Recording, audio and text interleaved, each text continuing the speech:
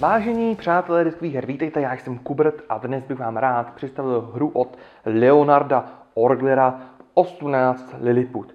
V češtině je k dispozici díky firmě Fox in the Box. Je to hra ze série 18XX, eh, což jsou hry, jestli jste od nich nikdy neslyšeli, 1830, 18OE, 18CZ. jsou to velké hry, eh, které simulují eh, obchodování v oblasti železnice. Hráči staví železnici, kupují vlaky a hlavně se starají o společnosti, takže obchodují s akciemi, vyplácí dividendy, kupují společnosti, rozbírají společnosti, prodávají společnosti. A typicky ty hry 18XX jsou obrovské, dlouhé, celkem náročné hry, které můžete hrát s klidem přes celý víkend. A už název této hry, ten Lilliput, tam trošku naznačuje, že tato hra se bude snažit o trošku něco jiného. Ta se snaží o to vzít ten celý koncept a smrsknout to do co nejmenší kuličky a podle krabice vám to nabízí hru pro jedno až pro čtyři hráče na hodinu až hodinu a půl, což je tak uh, desetina toho, co, o čem se dá hovořit u těch velkých osmnáctkových her. Ve skutečnosti si skoro myslím, že ta hodinka, hodinka půl je trošku optimistický odhad. Vidím to spíš tak na dvě až na tři hodinky, když se do toho dostanete. Každopádně ten zážitek, který vám tato hra, který vám tato hra nabízí, je v celku srovnatelný s těma velkýma hrama z té série 18XX. Nějakým způsobem tady zastavíte železnice, máte nějakou vlastní společnost, je tu obchod s akciemi, nakupujete nové vlaky, staré vám stárnou, jdou do šrotu, takže ten pocit z té hry je velice podobný. Na rozdíl těch ostatních velkých her eh, se tady v té hře hraje vyloženě eh, s nějakou nabídkou akcí. Já vám potom ukážu i ty části toho stolu, který nevidíte, protože to je ta hra, i když je to Lilliput, tak na, na našem průměrně velkém stole už zabírá značnou část místa, teda vlastně s předpokladem, že tady poroste nějaké nějaká železnice. Uh, takže tady v té hře jde o to, že hráči střídají a berou si tady ze zhora nějakou uh, akční kartu a na základě toho, co na té kartě, tam jsou vždycky dvě možnosti, tak spustí nějaký efekt. Takže uh, například si můžou postavit uh, nějakou novou železnici, nebo si nabrat peníze, můžou si postavit nové vlaky, nebo si vzít peníze a v každém kole máte šanci zahrát dvě akce. Jednou se volí vlastně jakoby eh, po směru hodinných ručiček, že první, druhý, třetí, čtvrtý a ta druhá chce jde obráceně, takže čtvrtý, třetí, druhý, první. Takže uh, máte vždycky nějakou možnost něco dělat, něco nedělat a ta hra se hraje na nějakých 8 kol, uh, případně na 9, třeba při nižším počtu hráčů. Takže tak, já vám teď ukážu, co je na tom stole a nakonec vám řeknu nějaký uh, svý dojmy z toho, jak se ta hra hraje. Máte šanci kupovat akcie a vy začínáte eh, s tím, že máte nějaký hlavní podíl nějaké společnosti a máte 50% jejich akcí. A vy si můžete s klidem kupovat akcie i soupeřové firmy. Takže ve chvíli, kdy soupeř bude mít tou firmu a bude, bude přepravovat lidi na obrovské vzdálenosti a brát z toho hromady peněz, tak i vy z toho můžete těžit, pokud máte na akcie té jeho společnosti. A krom toho, že to jsou ty akcie těch společností, které jsou ve hře, tak tu jsou i nějaké čtyři úplně nové společnosti, takže vy se máte možnost i koupit vlastně další společnost. Každý hráč může mít dohromady dvě ty společnosti a tady není problém například pomocí jedné společnosti, která má kapitál, koupit vlak za hrozně moc peněz a ten vlak potom prodat té druhé své firmě za nějakou úplně prostě směšnou částku a tím vlastně podporovat ty své firmy na zájem a z toho těšit. Na konci kola, vždycky, když se eh, provádí provoz těch vlaků, tak vy máte možnost, že buď to teda vyplatíte dividendy vlastníkům těch akcí, takže eh, ty akcionáři jsou nadšený, eh, hodnota těch akcí roste, a, ale vy nemáte to všechny ty peníze. druhá možnost je, že si celý ten výdělek nechá ta společnost, což zase akcionáři nemají rádi, takže hodnota těch akcí klesá a podobně. Takže obchod s akciemi. Tady jsou ty karty akcí, jak už jsem vám ukázal, uh, je jich tady 10. To jsou všechny karty akcí, které jsou ve hře. Uh, já mám na tom stole týkonu připravenou hru pro dva hráče, uh, ale všechny karty se použijou pouze pro čtyři hráče, Pokud se hraje ve třech, ve dvou nebo v jednom, tak ty karty ubývají. V návodu je napsáno, které ty karty vynecháte. Což je možná trošku škoda, je to jedna malá výtka, kterou mám v této hře, že na těch kartách by mohlo být poznamenáno, pro jaké počty hráčů se použijou. Ten setup, to rozložení by to určitě trošku zrychlilo.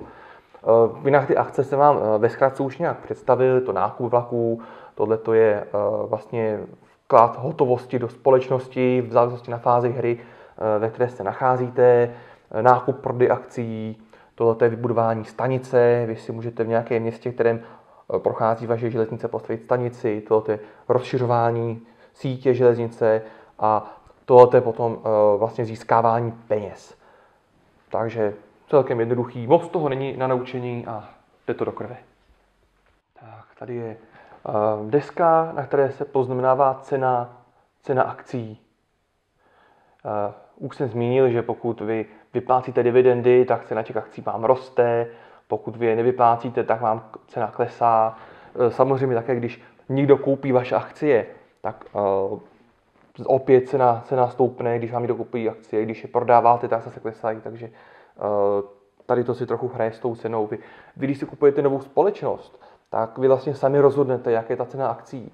Ale pokud vy založíte společnost a dáte jí cenu akcí na, na 100, tak abyste mohli tu společnost koupit, tak potřebujete zaplatit 50% těch akcí. Takže uh, rázně byste museli zaplatit nějakých tisíc peněz, což je uh, asi celkem dost. A výhoda pro vás v tu chvíli, no to musíte zvážit, jestli chcete mít drahou akci, levnou akci, jestli chcete, aby vám to soupeři kupovali nebo, nebo nekupovali. To je jeden z důležitých elementů této hry. Tady jsou potom nabídky železnice a nabídky vlaků. Podle toho, v jaké fázi jsou tady ty vlaky. Vy je kupujete postupně, to jsou vlaky úrovně 2, když se doberou, tak tam šup, půjdou vlaky úrovně 3, když se doberou ty trojkový, tak tam jsou potom někde čtyřkový, ty, co ty rozmotám, rozházím, ale to nevadí. Asi to pochopili. A to určuje i to, eh, v jaký je hra fázi.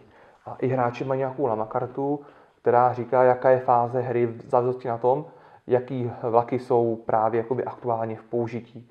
Takže vám to říká, jaké vlaky zestarávají, pokud už jste na úrovni nějakých vlaků tady pětkových, tak, tak už dvojkový vlaky jdou eh, skoro do šrotu a, a podobně. A taky na tom závisí, jaký jsou k dispozici dílky té železnice. Takže na začátku hry se bude hrát žlutýma, pak postupně přijdou do hry zelený a na konci těch, těch uh, pár hnědých. Nahoře tady je právě vidět místo pro zrezlé, zrezlé vlaky a to nějaké vlakové depo. Vždycky, když končí hra nebo skončí nějaký tah, tak se vrchní karta tady z balíčku těch vlaků hodí do vlakového depa a z toho vlakového depa potom čerpají eh, vlaky třeba firmy, co, co nemají vlaky nebo nějaký jiný v rámci hry. Prostě je tam takový zásobník levných vlaků k dispozici, dá se říct tak trochu.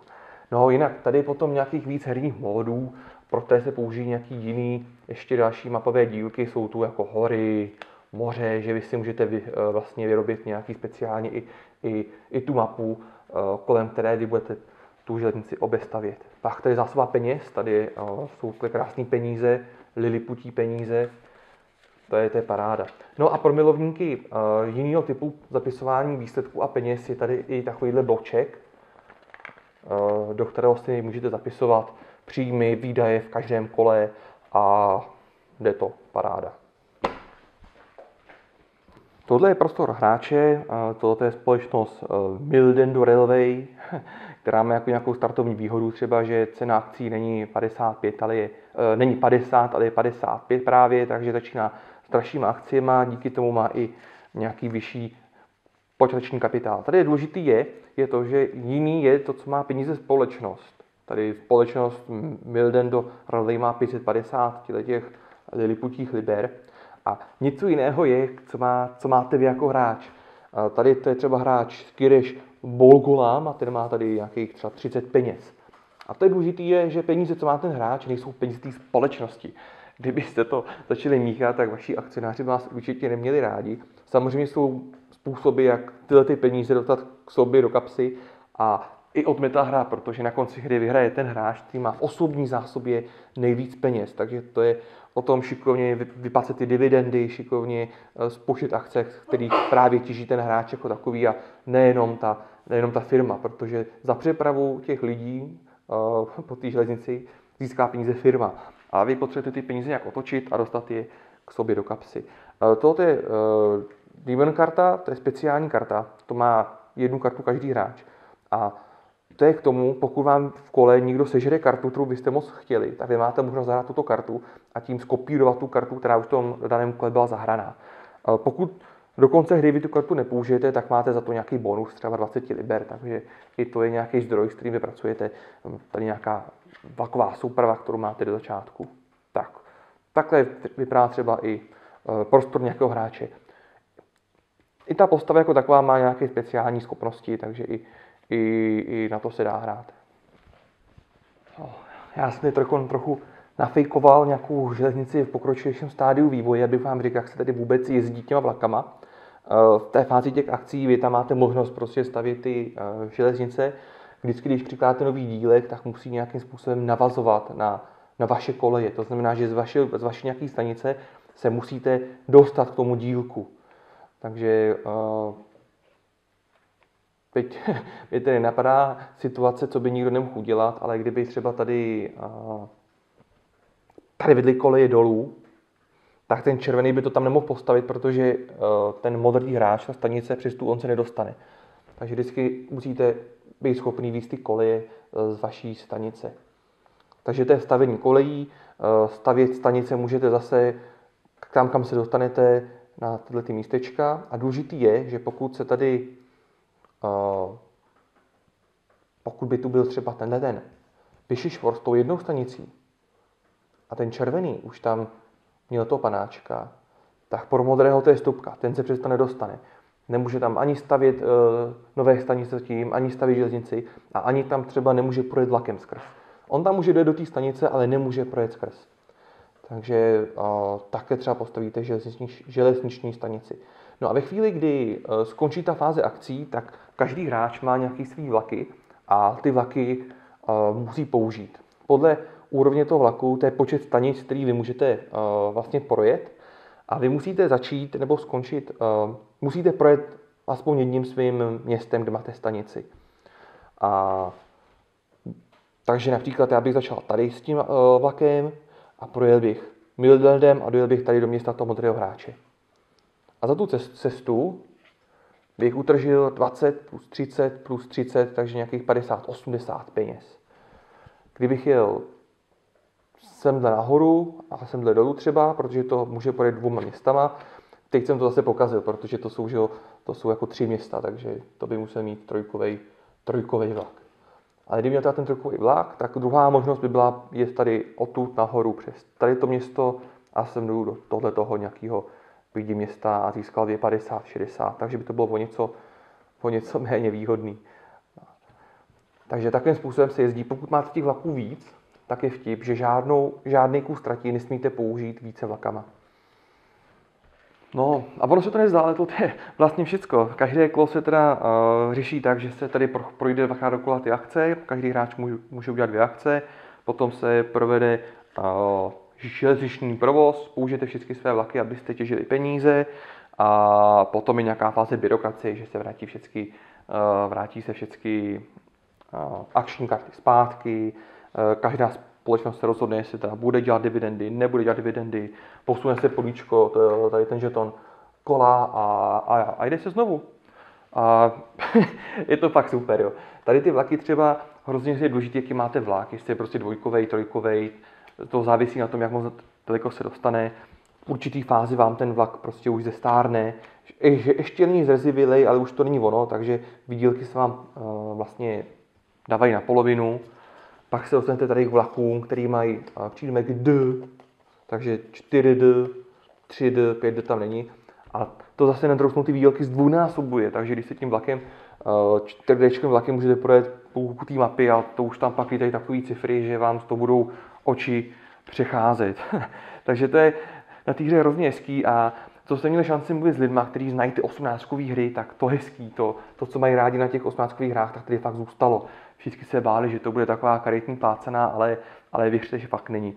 Takže pokud vás třeba lákala hra 18CZ, která taky vyšla nedávno v češtině od Fox in the Box, ale nikdy jste ji úplně moc nepobrali, byla na moc dlouhou dobu a zdala se vám taková těžkopádná a hůře přístupná, tak tohle je něco, co by vás třeba fakt mohlo bavit. Není to úplně jednoduchá hra, není to úplně, úplně třeba pro, pro malé děti, je to hodně počítací, hodně obchodní, furt to není až tak moc o těch vláčkách. Vy chvíli, kdy budete chtít vyhrát a budete o tom přemýšlet, tak fakt zjistíte, že to je o tom plánování, co s tou společností, jestli potopit, nepotopit, protože to je úplně celá validní strategie.